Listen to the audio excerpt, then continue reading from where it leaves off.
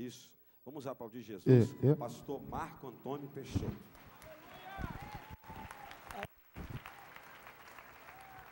Meu pastor. É seu.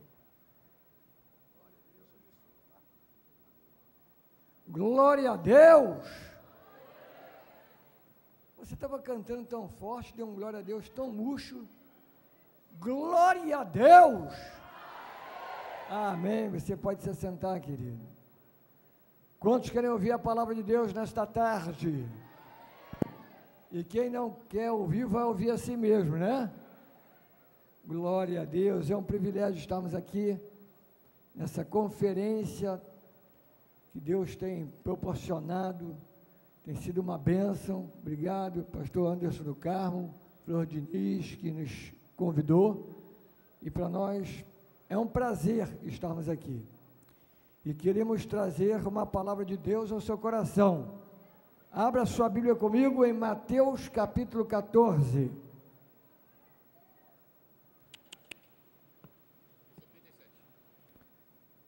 Mateus capítulo 14.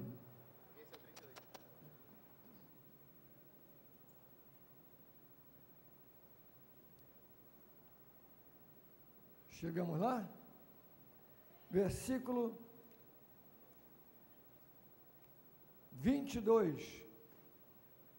Logo a seguir, compeliu Jesus os discípulos a embarcar e passar adiante dele para o outro lado, enquanto ele despedia as multidões. E despedidas as multidões, subiu ao monte a fim de orar sozinho. Em caindo a tarde, lá estava eles só.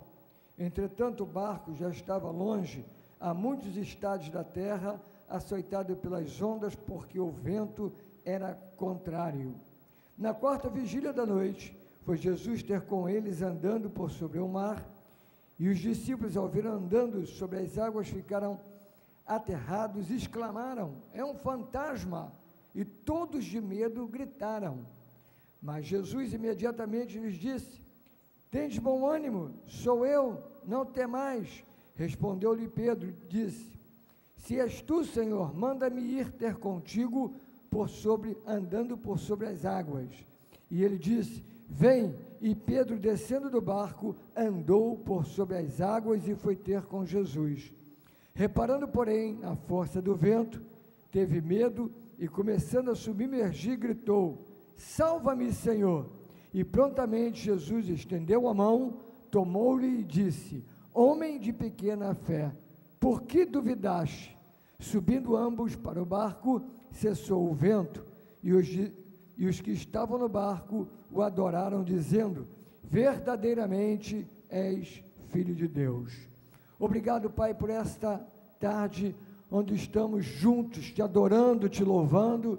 E nesse momento, quando nós meditamos da tua palavra, pedimos: Espírito Santo, vivifica a tua palavra em nossos corações Repreendemos toda e qualquer contrariedade, distração e declaramos, Senhor, que estaremos ouvindo a tua voz. Fala conosco.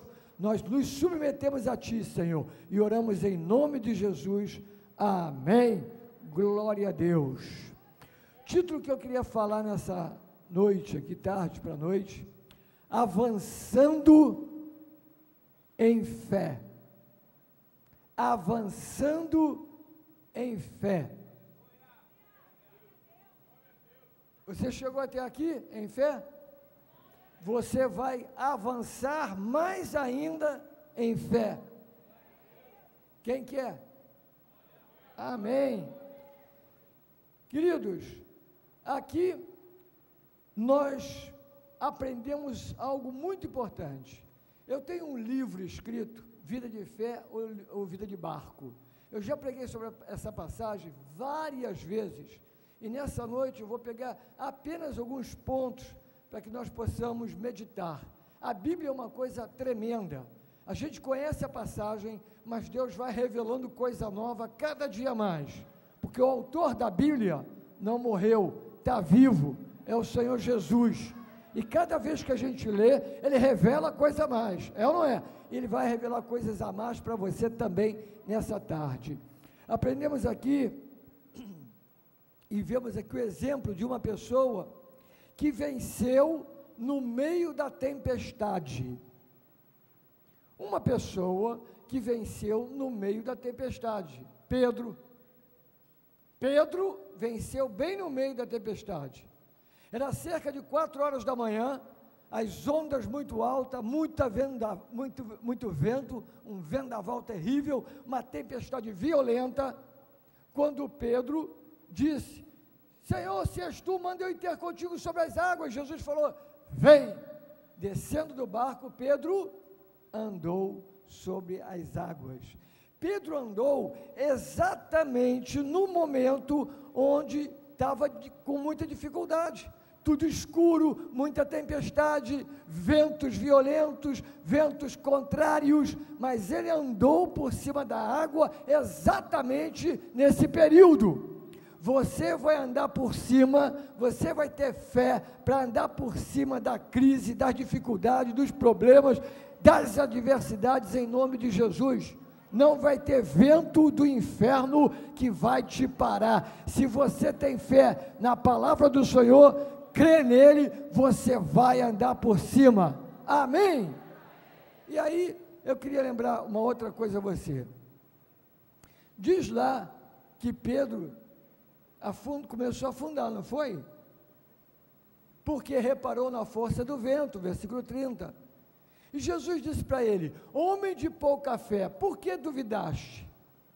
Jesus disse para Pedro: Homem de pouca fé, quem tem pouca fé aqui? Quem tem muita fé aqui? Pedro teve pouca fé, não teve? Ele andou em cima d'água. Você já andou em cima d'água? Hein? Quem andou em cima d'água aqui? Você falou que tem muita fé. Ele tinha pouca, andou em cima d'água e você tem muito e nunca andou? Deu um nó aí? Não, né? Por que, que Jesus falou homem de pouca fé? Pouca fé na duração da fé, a durabilidade. O tempo que Pedro andou foi pouco, ele poderia ter andado por mais tempo, mas ele andou por cima das águas, ele andou por fé por cima das águas. O tempo foi pouco, poderia ser mais tempo. Você já notou que esse é o problema da igreja hoje? Nós andamos por fé, mas por pouco tempo. Nós provamos uma medida de fé, andamos por fé, mas a fé tem pouca durabilidade, tem pouco tempo. É tempo da igreja não andar apenas por pouco tempo em fé, mas andar por muito, muito tempo e anos e anos em fé por cima. Não começar a afundar de jeito nenhum. Amém? Pedro, nessa passagem, nos mostra algo muito interessante. Porque Pedro teve fé, e muita fé para andar por cima da água. E aí vamos aprender aqui algumas lições importantes. Primeira coisa, Pedro, ele disse o que ele queria bem no meio da tempestade. Pedro disse o que queria bem no meio da tempestade. Pensa comigo, quatro horas da manhã, vendaval, aquela coisa terrível e, e, aquela confusão. De repente, Jesus aparece andando em cima da água. Quando eles viram Jesus andando em cima da água, o que, que eles falaram? Oh glória! Lá vem Jesus para nos ajudar, para nos salvar. Oh bênção! Glória a Deus, aleluia. Não foi? Foi isso? Então fala comigo, porque senão eu penso que vocês não entenderam. Vamos lá, fala comigo. Foi isso que aconteceu? O que, que aconteceu? Ficaram apavorados, ficaram com medo e começaram a dizer: é fantasma! Tem gente, aqui não, que aqui só tem gente boa, só tem crente filé mignon. Mas tem uns crentes por aí que quando chega Jesus para ajudar, eles confundem com fantasma. Já pensou? Ficaram com medo, apavorados, e acharam que Jesus era fantasma, e começaram a gritar de medo: socorro, fantasma, ah, socorro, medo, medo, medo. Mas Pedro discerniu a voz de Jesus no meio da tempestade. Porque Jesus falou assim: calma, tem bom ânimo, sou eu, sou eu. Ele não falou, sou eu, Jesus. Ele falou, sou eu. Ele não falou o nome dele, sou eu. Pedro discerniu que era o Senhor. E Pedro, quando discerniu aquela voz, foi tremendo para ele. Vamos discernir a voz do Senhor no meio das tempestades, no meio da crise, no meio da adversidade, no meio do problema. Olha, meu irmão, você pode estar passando a pior situação da sua vida, o pior problema da tua vida, eu quero te dizer: Jesus está vindo ao teu encontro, Jesus está vindo ao teu encontro, Ele vai fazer algo poderoso na tua vida nesse tempo, amém? Pedro discerniu a voz de Jesus no meio da tempestade. E Pedro então fez o que? Pedro disse: Senhor, se és tu, manda-me ter contigo andando sobre as águas. Uau! Que pedido impressionante, hein, irmãos? Pedro podia falar o quê? Senhor, se és tu, vem rápido que nós estamos quase afundando. É ou não é? Senhor, se és tu, não demora não, nós estamos apavorados, estamos com muito medo, Jesus. Se és tu, vem rápido. Mas não, não foi isso que aconteceu. Quando Pedro discerniu que aquela voz era de Jesus, Pedro falou assim: Senhor, se és tu, manda-me ir ter contigo andando sobre as águas. Olha que coisa impressionante. Pedro abriu a boca para determinar com a sua voz o caminho que ele deveria andar. Você não entendeu, vou ter que repetir. Pedro profetizou os próximos passos da sua vida. Pedro declarou as próximas horas da sua vida. Pedro declarou o caminho que ele queria andar. Senhor, se és tu, manda-me ter contigo andando sobre as águas. E Jesus disse: Vem, vem. Aí eu pergunto para você, atenção, eu pergunto para você: Jesus mandou ele andar em cima d'água? Foi Jesus que mandou andar, ele andar em cima d'água? Hein? Não foi. Jesus orou para Pedro andar em cima d'água? Jesus orou, pessoal daqui, pra, Jesus orou para Pedro andar em cima da água? Não. O que, que Jesus fez? Só concordou. Vem. Quem foi a ideia de andar em cima da água? Pedro. Quem foi que declarou que queria ir andando em cima d'água? Pedro. Você profetiza os teus passos no meio da crise. É você quem vai falar o que vai acontecer com você. A nossa boca, a nossa língua, como fala em Tiago, ela serve para a morte ou para a vida. Use a sua boca para a vida e não para a morte a tendência que nós temos de falar as coisas que estamos vendo. Ah, tá difícil, tá difícil, está russo, está brabo, oh, o Brasil tá mal, ah, tá tudo mal. Tá mal sim, meu irmão, e daí? Tem crise sim, daí? pastor está falando isso. Olha, olha, a, a, a crise está tão ruim, está ruim mesmo. Eu estou sem dinheiro, estou mal, estou desempregado. O pior desempregado aqui tem algo dentro de você que o mundo não tem. Você tem a esperança de Jesus e ninguém vai tirar. Você tem a vida eterna e ninguém vai tirar. Então não tem problema, não tem dificuldade nenhuma, meu irmão. Vai em frente! Creia no que Deus está fazendo na sua vida. Levanta a cabeça. A tendência que nós temos de abrir a boca para falar as coisas que estão acontecendo. Tem gente aqui, não tem Aqui eu sei que não tem, mas tem gente assim. A pessoa chega para você e fala assim: irmão, escuta, tu está sabendo aí do fulano de tal que aconteceu com ele? Não, não estou sabendo não. A pessoa, não. A pessoa fica toda feliz que vai contar uma desgraça para o outro. Não sabe? Não, não estou sabendo não. Ah, olha só, é, é o seguinte, ó, não conta para ninguém não, hein? Aí conta uma desgraça, bem daquelas desgraçosa para o cara. E ele se sente bem em contar desgraça para o outro. É impressionante como as pessoas têm prazer de contar miséria e desgraça para os outros, irmão. Sabe o que eu tenho falado? Eu sou uma bênção. Você também? Deus é o meu Senhor. 40 anos atrás ele me tirou da boca do diabo, tocando em banda de rock, doidão, viciado. Ele arrancou da boca de Satanás. São 40 anos que eu glorifico a Deus com a minha boca, com o meu corpo, com tudo que eu tenho. Então, meu irmão, a minha boca é para louvar o Senhor, para adorar o Senhor. Então, quem não quer ser abençoado, é bom que passe bem longe de mim, que se passar perto, vai ser abençoado, porque eu tenho bênção para dar, eu tenho esperança para oferecer. Amém.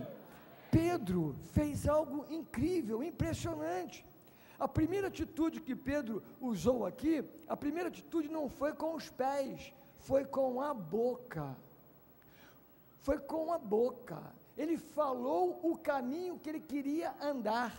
Ele falou qual era a dimensão de vida que ele queria. Nessa noite você vai falar o que você quer para os próximos passos da sua vida. Nessa noite você vai ter fé para dizer: Eu quero sair daqui para viver isso, isso, isso, isso. E Deus tem prazer de realizar, porque a Bíblia diz: Pedir e dar-se-vos-á. Peça, ore grande, pense grande. Teu Deus é grande. Teu Deus é grande. O teu Deus é grande. Ele criou o céu e a terra. Ele te ama, ele tem um propósito para a sua vida. Amém? Então, não foi os pés apenas de Pedro que pisou naquela água e aquela água virou um concreto para ele andar em cima.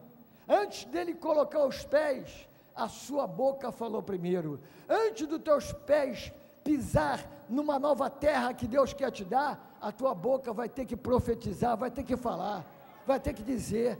Para de falar coisa que não, que não tem nada a ver, para de falar coisa negativa. Para! Tem uns crentes que saem da igreja todo animado. Todo, oh, glória a Deus, aleluia, glória a Deus. Aí encontra com outro irmãozinho, negativo, eu estou falando assim, vocês não conhecem ninguém assim, eu sei. Mas tem gente negativa. Aí ele encontra com aquele irmão, ô oh, meu irmão, tudo bem? Estou vindo o culto, foi uma bênção. Olha, estava lá, pastor Anderson deu uma palavra, foi muito bom, glória a Deus, aleluia. E aí irmãozinho, é mesmo? A palavra foi sobre o quê? A palavra foi, olha, foi, foi, foi avivamento. Avivamento, meu irmão. Estou esperando, tem 20 anos. Não, mas olha só, Deus vai fazer, Deus opera, Deus é tremendo. Eu sei, minha irmã, mas olha só, estou mal, está tudo mal, como é que estão as coisas, entendeu? Deus é poderoso, mas lá no céu, meu irmão, lá no céu é poderoso. Aqui na terra não estou vendo nada. Aí começa, começa a falar. O irmãozinho que estava todo, aleluia, cheio de fé, como é que sai depois dessa conversa? Senhor, misericórdia. Jesus, cuida de mim. Senhor, misericórdia. Ó oh, Deus, misericórdia. Está amarrado. Você é luz do mundo e sal da terra. Você vai influenciar outros com a tua boca. A tua boca sairá em palavras de vida. A tua boca sairá palavras que vão levantar pessoas nesse tempo. O desanimado vai ficar animado, o oprimido vai ser liberto, o endemoniado vai ser livre por uma palavra que vai sair da tua boca. Nem inferno, nem demônio, nada segura o povo de Deus. Vai em frente, Vai em frente. Aleluia.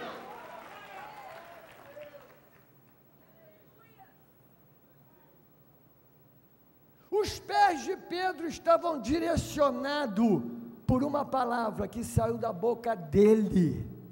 Jesus não falou para ele andar na água, foi Pedro quem falou. Jesus só disse: vem. Jesus só autorizou. Vou te dar um outro exemplo.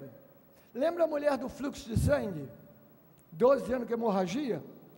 A Bíblia diz que ela veio por trás de Jesus, tocou na orla da sua veste e foi completamente curada. E Jesus falou: Quem foi que me tocou? Ah, é fulano, todos te tocam, Senhor. Não, alguém me tocou, me tirou o poder. Quem foi? Quem é? E ela então disse: Fui eu. E falou. Aí eu pergunto agora para você, quero que você responda. Jesus orou por essa mulher? Foi Jesus quem chamou ela? Jesus impôs as mãos sobre ela? Não. A fé foi de quem? Dela. Dela. Ela tirou de Jesus o que ele tinha. E muitas vezes nós estamos, Senhor, tu me conheces. Se tu queres, queres, se não queres, não queres. Senhor, aleluia. Oh Deus. Como é que está, meu irmão? O Senhor sabe, né, meu irmão? O Senhor sabe. Ele sabe mesmo. E você? E aí, meu irmão, tudo bem? Todas as coisas cooperam. Aleluia. Meu irmão, e aí? Firme e forte, como é que está, meu irmão? Esperando no Senhor. Eu conheço gente que está 20 anos esperando no Senhor. Esperando no Senhor. Esperando no Senhor. É, deve ser um, o Senhor dele deve ser um Senhor muito pequenininho, porque o meu é grande demais. E quando eu espero nele, ele realiza com poder. É ou não é? Amém? Esse Deus maravilhoso está aqui nessa noite para te abençoar, para te levantar. Eu li, eu li na camiseta, é, a igreja está de pé. A igreja está de pé. Nada vai fazer a igreja de Jesus se dobrar ou cair. Jesus falou em Marcos, Mateus, perdão, capítulo 16: Eis que todos edificando a minha igreja, e as portas do inferno não prevalecerão contra ela. É a igreja de Jesus, é a sua igreja, somos nós, aqui está aqui a parte da igreja. Então, essa igreja vai estar de pé, caminhando num caminho de vitória, avançando em vitória. Glória a Deus. Quando Pedro andou na água, vamos lá. Aqui no púlpito é o barco. Pedro saiu do barco e andou na água. Quando Pedro está andando na água, ele está deixando para trás algumas coisas. Está deixando para trás o barco? Sim, está deixando o barco para trás. Mas está deixando também para trás a maioria. A maioria. Quantos ficaram no barco? Onze. Imagina esses onze quando ele falou, manda eu ter contigo andando pela água. Imagina os onze. Cala a boca aí, ô, ô Zé Mané, ô presunçoso. Vai pagar mico, eu, Zé Mané. Tá com fé, quero ver. Ele deixou para trás a maioria. Tem gente que fica ouvindo a maioria e diz que a maioria tem, que tem a, a verdade. Uh -uh. Quem tem a verdade é o Senhor. E se você é minoria, não tem problema nenhum, o maior está com você. Primeiro João 4,4: maior é o que está em nós do que o que está no mundo. Pedro deixou para trás algumas coisas, deixou para trás a maioria, ele deixou para trás os pensamentos negativos, lembra que eu falei ainda agora aqui? Pensamentos negativos, porque está todo mundo com medo, todo mundo dizendo é fantasma, é fantasma, deixou esses pensamentos tudo para trás. Ficaram para trás. Tem coisas que nós temos que deixar para trás, irmão. Tem pensamento nosso que nós temos que dizer aqui não, sai fora da minha cabeça, sai fora da minha mente. Pensamentos negativos, pensamentos que perturbam, pensamentos que levam a pessoa a, até a loucura, pensamentos que levam a pessoa a ficar oprimida, está amarrado e você tem autoridade para dizer, no nome de Jesus, eu não quero essa forma de pensar. Eu rejeito esse pensamento. O irmão chegou para mim e falou: Pastor, ora por mim. Eu estou na lista para ser mandado embora. Vou perder emprego. Ô meu irmão, que isso, cara? Se anima aí, rapaz. Que negócio é esse? Me animar como, pastor? Estou na lista. Eu falei, mas que lista é essa? Um, um colega do meu trabalho disse que viu a lista. E meu nome está na lista.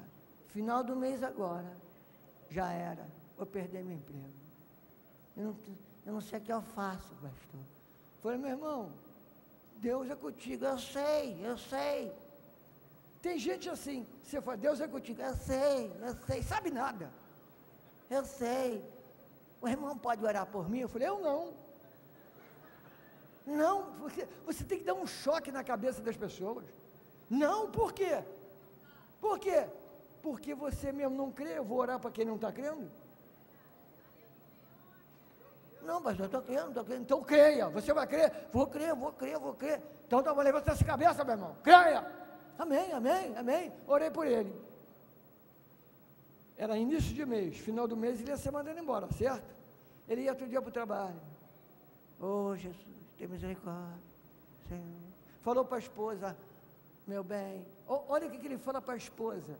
Tem gente que não sabe nem falar uma palavra certa para a mulher, para a esposa.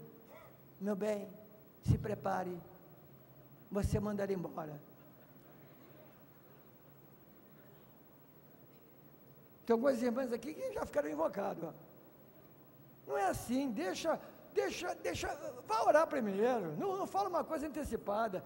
Sabe, irmão? Sabe, olha, tem pessoas que ficam preocupadas antecipadamente. O que, que é ansiedade? Ansiedade é a pessoa passar por uma coisa que ainda não aconteceu. Olha, vai cair um temporal terrível hoje, cuidado. A pessoa já está, ai meu Deus, como é que vai ser esse temporal? Misericórdia, temporal, temporal. Já está chovendo? Não. Então descansa. Aí depois bate o vento e não tem mais temporal. Aí a pessoa, é, não teve temporal, mas ela sofreu o dia todo pela chuva que não caiu. Você está entendendo o que eu estou falando? Então esse irmão estava preocupado e falou para a mulher dele, ia trabalhar, né? Ia trabalhar. Passou, o, o, o patrão passava assim e. Bom dia, bom dia. Bom dia. Quando chegou no final do mês, o patrão chamou ele na sala dele. Aí o irmão foi para a sala, lá na sala do patrão, lá vai ele.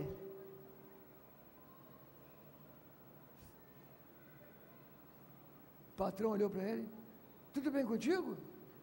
Tudo bem, tudo bem. Mas é, eu tenho uma coisa para falar para você. Pode falar, estou preparado. Pode falar. O patrão, mas tu está muito esquisito. Não, está tudo bem, está tudo bem, tá tranquilo. Pode falar, pode falar. Tudo bem. Você está preparado para o que eu vou te falar? Já estou, já estou preparado. Pode falar. Aí o patrão falou assim: olha, eu estou olhando você já tem um bom tempo. E eu vou fazer algumas modificações na empresa. Vou mandar um grupo de pessoas embora. E vou formar um novo departamento. E eu estou chamando você para ser o chefe desse novo de departamento. E eu vou dobrar o teu salário. Aí ele ficou assim. Está de choque. Ele acreditou no amarrado do colega dele que disse que o nome dele estava na lista para ser mandado embora. E o cara, em vez de ser mandado embora, vai ser chefe e vai ganhar duas vezes mais. Tem gente assim, sofre, e Deus olhando e dizendo, por que está sofrendo, rapaz? Ai, está brabo, está ruim, você manda ele embora. Deus está falando, não, eu vou reverter isso. Eu vou mudar isso. Não acredite nas vozes daqui do agora, acredite no que Deus está te falando. Amém, queridos? Fé é crer na palavra de Deus, fé é crer no que Deus fala, fé é crer na palavra, fé vem pelo ouvir e ouvir a palavra, Romanos 10, 17. Isso é fé não é ter fé nos outros, não é ter fé no homem, não é ter fé na mídia, não é ter fé na, na, na crise que está aí, a crise está aí e alcançou todos nós, e daí? E daí? O nosso Deus não está em crise, o céu não está em crise. As bênçãos são bênçãos e vão alcançar você e sua casa. Seja fiel à sua igreja, seja fiel ao seu pastor, seja fiel e Deus vai te levar para um tempo novo. Creia nisso. Glória a Deus, vou correr aqui. Pedro deixou para trás também a insegurança e o medo.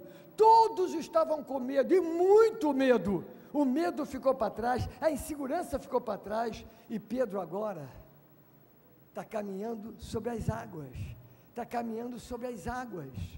Foi pouco tempo, sim, mas ele andou. Ele andou, ele teve fé para andar. Então o desafio veio antes da conquista. Sempre assim. O desafio vem antes da conquista. Agora, o desafio, às vezes, é grande, mas você tem que falar o que você quer. Tem muita gente que, quando tem um problema, um desafio na sua frente, alguma coisa para fazer, ele chega para o pastor e vai orar. Ou melhor, pede oração, pastor, ora por mim. Tem coisas, quem tem ouvidos para ouvir hoje aqui, ouça.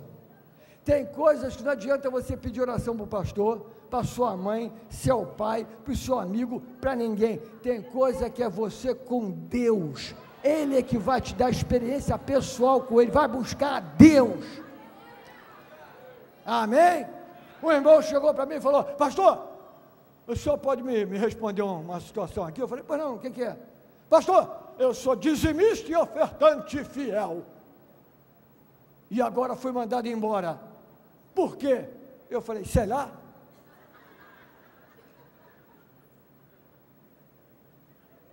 Mas, pastor, eu sou dizimista, eu sou ofertante, por que, que eu fui mandado embora? Falei, sei lá, meu irmão, por que você foi mandado embora? Por que foi mandado embora? Agora eu me admiro de você falar uma coisa dessa para mim. Por quê? Porque se a pessoa está empregada ou não está, o nosso Deus não muda porque eu tenho dinheiro. O nosso Deus não muda porque eu estou desempregado. O nosso Deus não muda porque eu estou fraco ou estou forte. O nosso Deus é Deus para sempre e temos que ser fiel a Ele o tempo todo.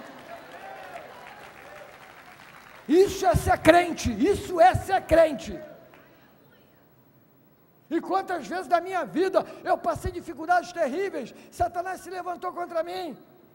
Quando Deus me chamou da Vila da Penha para a zona sul do Rio, minha filha com um ano e dois meses, caiu de três metros de altura, arrebentou a cabeça toda no chão, agarrei minha filha, estava como morta.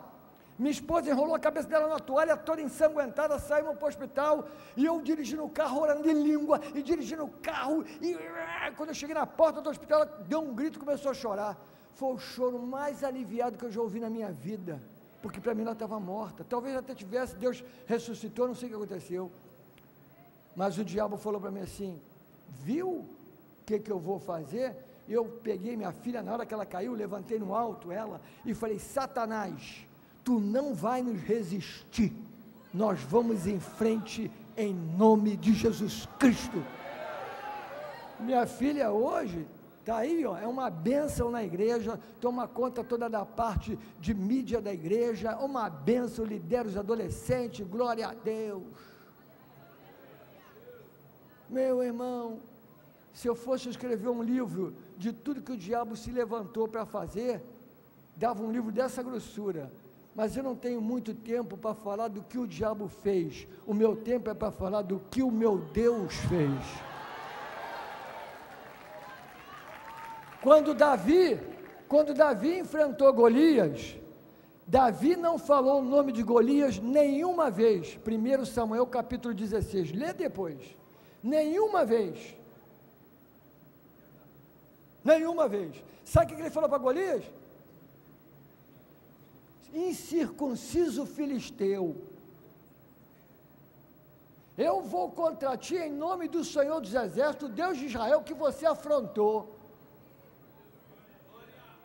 Davi falou o nome de Deus muito mais do que Filisteu. Golias não sai da boca dele. Sabe por quê, meu irmão? Não vamos falar o nome do diabo, não. Ele já foi estraçalhado. Jesus desceu Hades ao inferno, pisou na sua cabeça, arrancou a chave da morte do inferno da mão dele. Nós vamos glorificar o nome do nosso Deus e vamos em frente. Avança em fé! Essa igreja vai avançar em fé! Aleluia! Foi uma atitude de fé que levou Pedro a andar num caminho sobrenatural. Andando por cima da água, a lei da gravidade não pôde lhe puxar para baixo. Ele andou por cima, andou num caminho sobrenatural. Deus está levando essa igreja para andar num caminho sobrenatural num caminho abençoado. Se você pensa que é só isso que está aqui, Deus vai fazer muito mais. Deus quer fazer coisa grande. Deus tem coisas grandes para o seu povo. Deus quer alargar, estender a sua obra mais e mais. Amém? Nós temos que ter essa atitude de fé. A nossa atitude de fé tem que dizer algo, algo que está na nossa frente e que nós queremos conquistar. Tem crente, querido, você pergunta para ele, está orando por quê? Ah, o senhor que sabe, né? Qual é a tua meta em oração? Pastor, olha só, o que Deus mandar tá bom. Cai um tijolo na tua cabeça, você vai dizer que foi Deus. Não! Coloque alvo. Fale algo que você quer. Pedro falou: Eu quero andar em cima da água. E Jesus falou: Vem. E ele meteu o pé na água e saiu andando por cima da água. O que você tem pedido a Deus? Como está a sua fé? Você está ouvindo quem? Para onde estão voltados os seus ouvidos? Para a palavra de Deus ou para o diabo que usa a porção de boca? Creia na palavra. A Bíblia diz que os ventos eram contrários. Eu quero declarar, profetizar para a igreja de Jesus: os ventos vão soprar ao teu favor. Os ventos vão soprar ao teu favor. Aqui eles enfrentaram ventos contrários na água de madrugada. Você vai ter ventos ao teu favor, em nome de Jesus. Amém. Glória a Deus. A nossa fé é igual elástico. Ela tem que ser esticada cada dia mais. É igual músculo. Músculo. Uma pessoa quando quebra a perna, quebra o braço, enfaixa, é, bota gesso. Dois meses depois, 40 dias depois que tira o gesso, como é que está a perna da pessoa? Fininha. Ela vai ter que fazer fisioterapia ou no braço ou na perna para ganhar músculo de novo, para andar normal. A nossa fé é a mesma coisa. Se você para de exercitar, ela murcha. Ela tem que ser esticada. Ah, conquistei tudo, glória a Deus. Olha só, aleluia. Vou descansar o resto da minha vida agora. Eu orei, eu me converti e eu sei que vou para o céu. Aleluia com Jesus. E eu orei para ter um carro, Jesus me deu um carro. Eu orei para ter uma casa, Jesus me deu uma casa. Glória a Deus. Agora é só descansar e esperar o arrebatamento. É.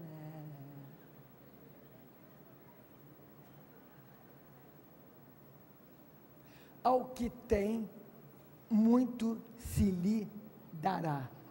Ao que não tem, até o que tem lhe será tirado. Por quê?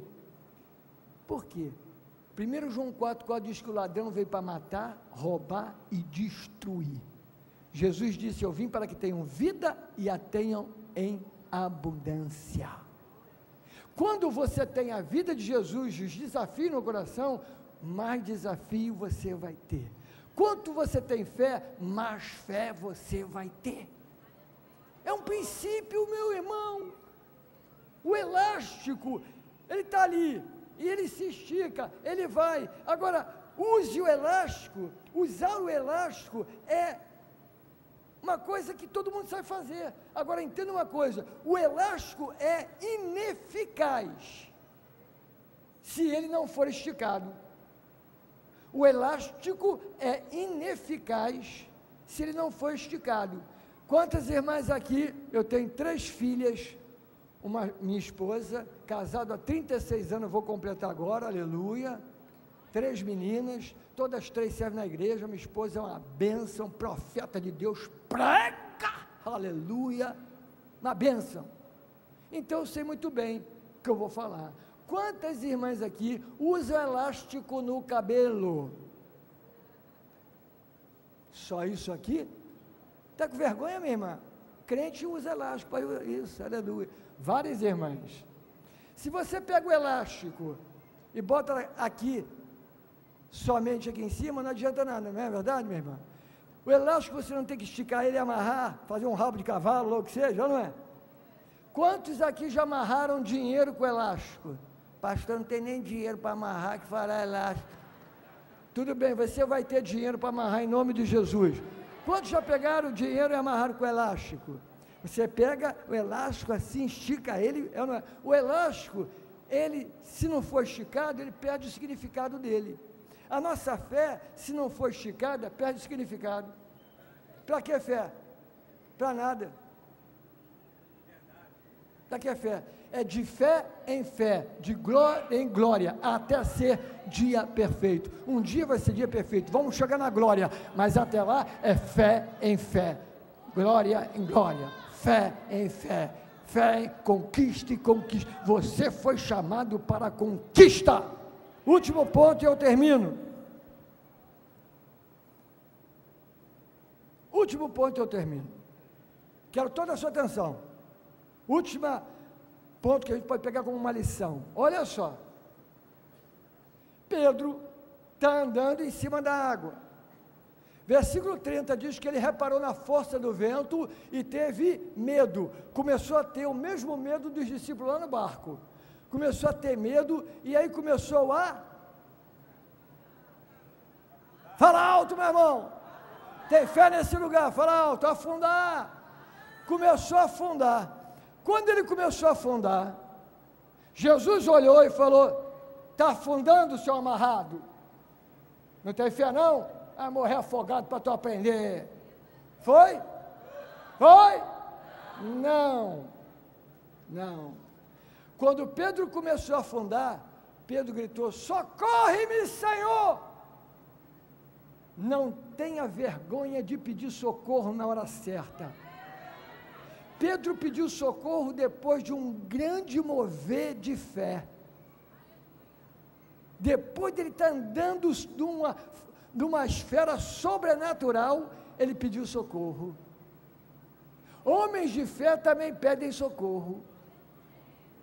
Tem que saber pedir socorro a quem? Pedro falou: Socorre-me, Senhor.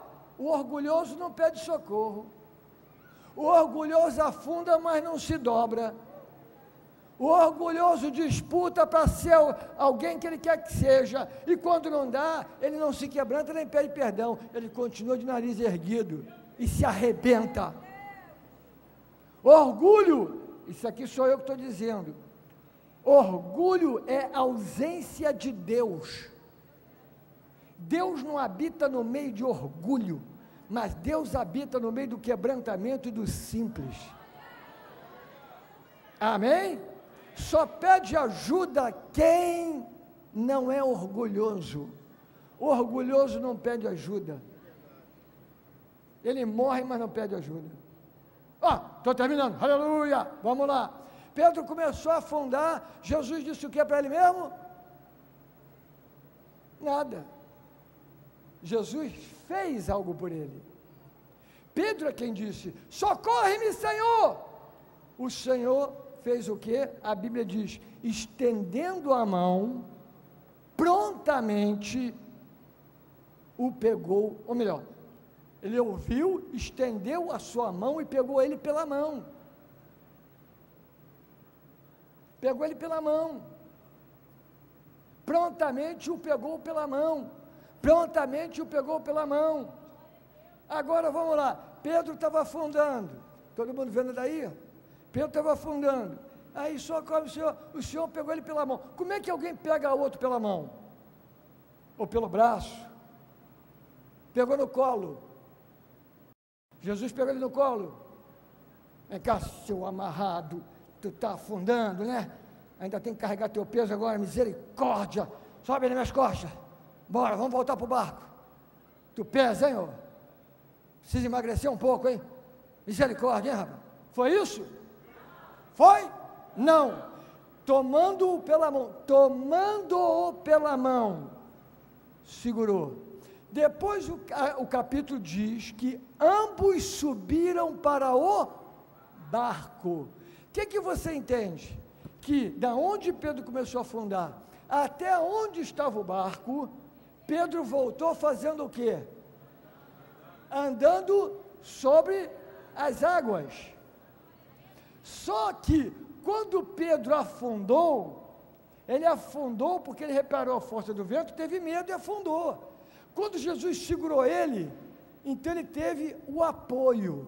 Jesus talvez segurou ele, quem sabe aqui pelo braço, pelo pulso, pela mão, não importa, mas Jesus estava segurando ele. Então, olha só, Jesus segurando aqui ele, ok? E então ele está fazendo o quê? Voltando, o barco agora está lá, ó. O que, que ele está fazendo? Segurando ele pela mão, para ele ir para onde? Para o barco. Quem é que está segurando? Jesus. E Pedro? Segura mesmo, senhor. Ai, ai, ai, ai, estou com medo. Ai, será que eu vou afundar de novo? Ai, acho que eu vou afundar de novo. Será? Será que foi isso? Não. Estou terminando. Pedro, quando começou a afundar, Jesus tomou-o pela mão e Pedro voltou a fazer de novo o que ele estava fazendo. Você vai voltar a fazer o que você parou de fazer. Você vai retornar para o lugar que você estava em fé. Você vai retornar a fazer coisas maiores ainda. Sabe por quê? Sabe por quê, meu irmão? Porque agora o Senhor está segurando você o Senhor veio ao teu socorro, o Senhor te deu apoio, agora você está andando com apoio, andando por cima d'água com apoio, e Pedro deve estar falando, e aí, o vento, pode soprar, sopra mesmo, cadê? Sopra mais, olha aqui, olha ele aqui, olha ele do meu lado, olha quem está do meu lado, seu palhaço, cá, cá é, cá é, está aqui, é o Senhor segurando a minha mão, você vai fazer com mais intensidade aquilo que você parou. Aonde você parou, você está voltando para a glória de Deus. Aonde essa igreja parou, vai voltar a fazer o que Deus mandou fazer. Não vai ficar no meio do caminho, não vai afundar. Você vai andar por cima num caminho sobrenatural, com o apoio do Senhor dos Senhores, Rei dos Reis, Jesus Cristo essa é a tua noite. Você tem fé para avançar? Fique em pé e vamos orar. Aleluia! Oh, glória a Deus! Quando o diabo falar assim, você começou a afundar, hein? Aí você vai falar: Olha aqui, Satanás, tu viu quem segurou meu braço? Tu viu quem me apoiou? Você viu o que ele fez? Tu viu até onde ele me conduziu? Esse mesmo Deus está apoiando você, está te conduzindo para o melhor tempo da tua vida. Melhor tempo da tua vida. Esse ano pode ter sido um ano muito ruim para você, mas eu quero declarar no nome de Jesus: tenha fé, até o final do ano vai ser o melhor ano da tua vida. Deus vai fazer coisas tremendas na tua vida. Feche seus olhos, comece a orar onde você está agora. Obrigado, Pai, por essa noite. Te louvamos, ó oh Deus, pelo poder da tua palavra. Te louvamos que a tua palavra nos anima, a tua palavra nos fortalece, a tua palavra nos ergue para dias novos. E agora, estende a tua mão sobre o aflito, necessitado, aquele que está sem fé, aquele que está, meu Deus, esmorecido na fé, aquele que está desanimado, que está prostrado, aquele que entrou hoje aqui, que canta, mas não tem visto as tuas realizações que está louvando a Deus e ora, mas não vê uma operação tua, mas hoje leva essa fé a andar num caminho como ele nunca andou. Leva essa fé para descobertas novas em Deus. Nós abençoamos o teu povo nessa noite em nome de Jesus Cristo. Aleluia, aleluia, aleluia. Abaixa sua mão só um pouquinho. Feche seus olhos. Quantos nesta noite pode dizer, pastor? Deus falou comigo numa área da minha vida. Eu não vou sair daqui a mesma pessoa. Eu quero sair daqui hoje com essa área completamente resolvida. Eu tenho fé para que minha, essa área da minha vida vai ser mudada. Quantos aqui Deus falou contigo? Levanta a sua mão bem alto, bem alto, bem alto. Pai, no nome de Jesus, cada uma dessas mãos agora, toca. Tu sabe da necessidade. Tu sabe aonde eles pararam. Tu sabe a situação pelas qual pelas quais vieram para tentar frear sua vida e seu ministério. Toca agora, levanta agora, ergue agora, que eles voltem para um nível muito mais alto do que estavam. Nós os abençoamos no nome poderoso de Jesus. Amém. Abaixa a sua mão um pouquinho. Feche seus olhos. Última oração e terminamos. Há um milagre para ser realizado na tua vida hoje. Creia deposite a sua confiança em Deus, deposite a sua fé em Deus. Jesus quer traçar o teu futuro, o teu destino. Aonde você está agora, diga para Jesus: Jesus, entra na minha vida. Eu não estou falando de uma religião, eu estou falando do poder de Jesus Cristo. Tocar você, encher você de paz, de alegria, esperança, para você sair daqui realmente sabendo que Ele é vivo e que Ele cuida de você, cuida de cada detalhe da sua vida. Quantos estão aqui hoje que querem dizer, pastor, eu estou orando assim, eu quero Jesus na minha vida, eu quero que Jesus entre no meu coração. Essa é a minha noite, é o meu dia, eu quero Jesus na minha vida. Se você quer Jesus na sua vida, eu quero orar por você agora. Quantos querem entregar o seu coração a Jesus? Quantos querem Jesus na sua vida? Quantos querem sair daqui para viver uma vida nova? Se você quer isso, eu quero orar por você agora. Quantos gostariam de fazer isso? Levanta a sua mão direita bem alto, dizendo: Eu quero Jesus na minha vida. Deus te abençoe. Deus te abençoe lá atrás. Eu quero Jesus na minha vida. Quem mais? Deus te abençoe. Deus abençoe você. Quem mais lá atrás? Deus te abençoe. Deus abençoe. Deus te abençoe, querido. Deus te abençoe. Você que levantou a sua mão, vem aqui agora, rapidinho. Vem cá, vem cá aqui na frente, rapidinho. Rapidinho, sai do seu lugar, venha, venha, venha. Cada passo que você vai dar são passos em direção à tua vitória, ao teu futuro, à tua libertação. São passos em direção a um milagre na tua vida.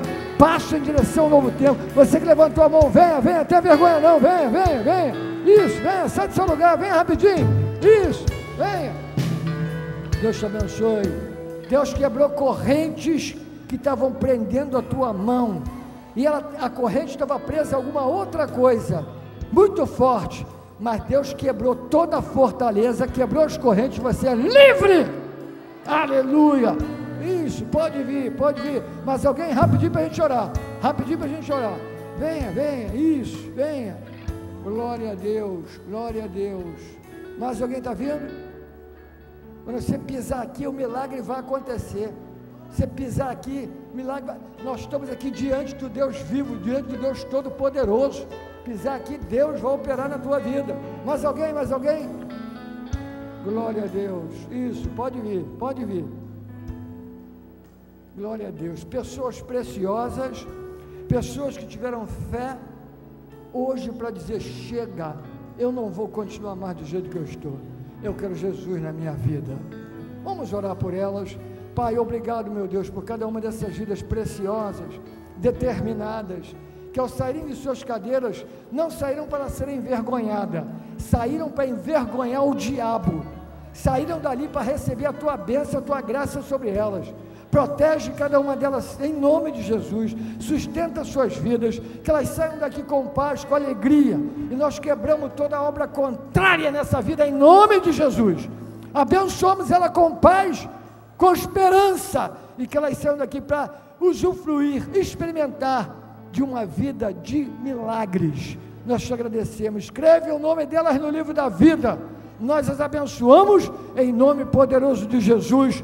Amém. Amém. Nós temos aqui, tem aqui uma equipe de apoio aqui do lado esquerdo, pode chegar ali, que eles vão abençoar vocês ali, pode chegar ali. Você pode dar uma salva de palmas a esse Deus maravilhoso? Aleluia, pastor Anderson.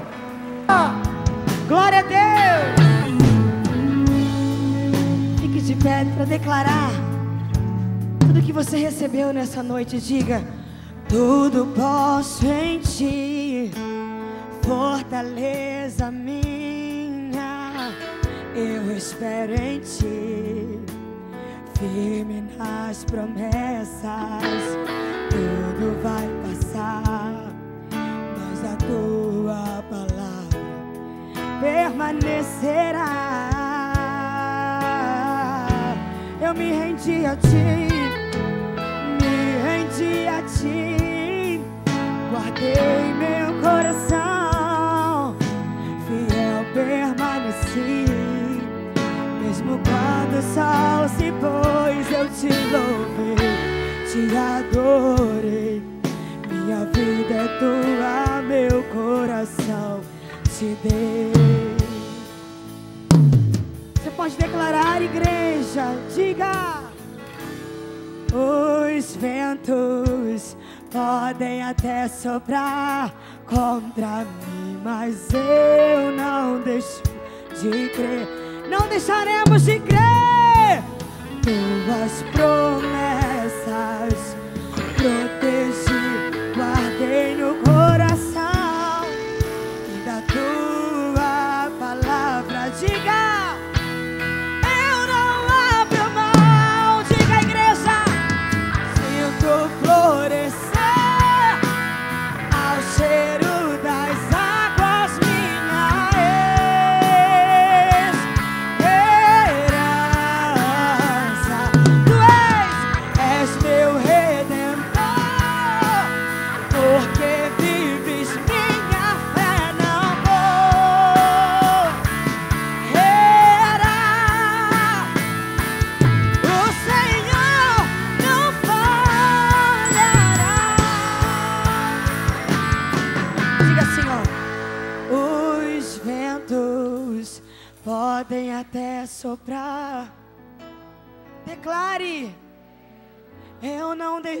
de crer. Tuas promessas protegi, guardei. E o que?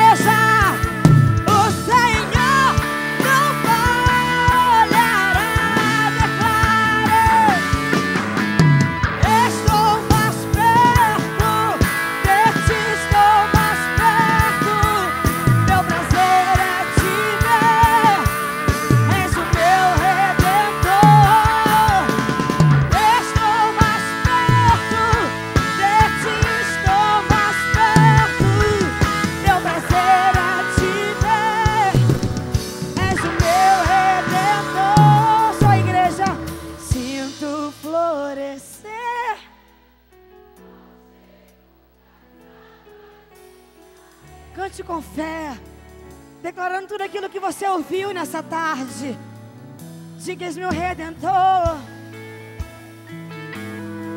Diga com ousadia.